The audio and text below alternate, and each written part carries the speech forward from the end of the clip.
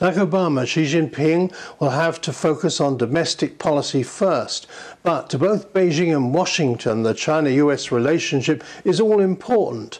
Who will be making the first move, and what will that move be? Well, it's interesting because we, have had a U.S. election and we've reelected the president.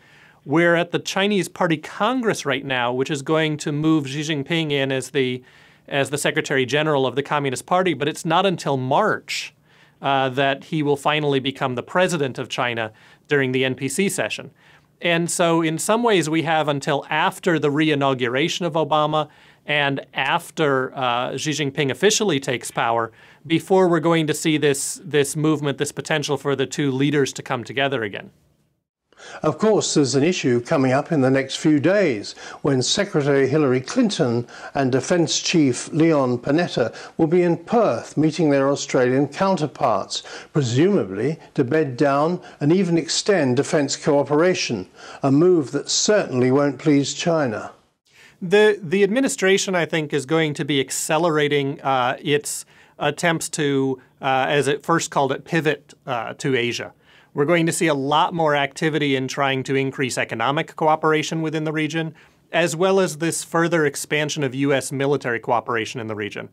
And in this sense, certainly the Chinese are going to be concerned. The U.S. continues to try to shape this as something that's not against China, uh, but the Chinese are going to read it that way uh, no matter what. At the same time, the US and the Chinese are both in the same economic system. They both have a lot of uh, interactivity and dependability upon one another in regards to uh, their economies, in regards to trade.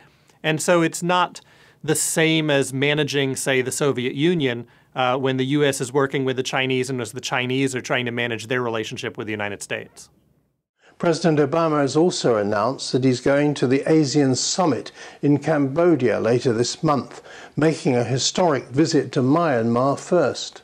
ASEAN is really, uh, in many ways, a centerpiece of the administration's um, uh, return or expansion of activity in Asia. Because ASEAN is an existing grouping. In some sense, it's supposed to be seen as a neutral grouping. It's neither a strong U.S. ally nor a strong Chinese ally and therefore it, it can serve in some sense as a, as a buffer. Uh, it also sits between the, the sphere of influence of these two uh, larger regional powers. So as we see Obama go down and work with ASEAN, as we, he talks with the Southeast Asian states, um, this is an economic issue. This is increasing um, uh, trade uh, elements. It's increasing political relations, uh, building it stronger with, say, Cambodia. Thailand is a traditional ally. Myanmar is one of the more interesting things as Obama goes there. That's supposed to highlight uh, the effectiveness of the administration's foreign policy. In other words, it drew a a uh, military government into the realm of, of democracy. Uh, so those are places that for Obama are really important to highlight. For the Chinese, however, it is seen very much as part of a containment right around China. And Myanmar for them is probably the most sensitive of all of these because that's a place where they really had a lot of influence, where they were looking at it as a major part of their uh, energy security. And now they see it as a place where the United States is, in some sense, squeezing them off. Roger Baker, thanks for being with us today, and I'm sure we'll come back to this significant visit in more detail. That's agenda for this week. See you next time.